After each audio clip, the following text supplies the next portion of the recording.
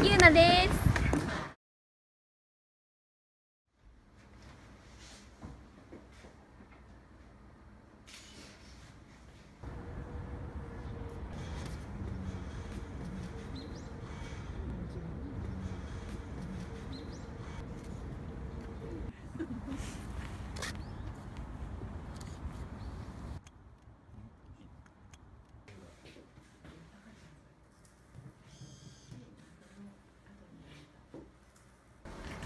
こんにちは平優奈です。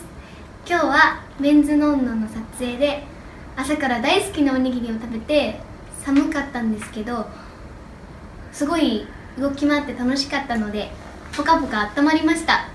今日も楽しい撮影でした。ありがとうございました。